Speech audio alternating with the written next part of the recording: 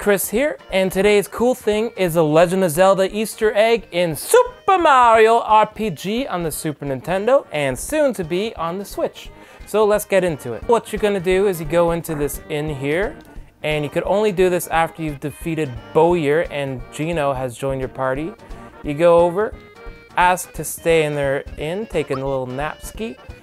Um, there will be no problems there snoozing, and you'll wake up to see, oh, look who it is.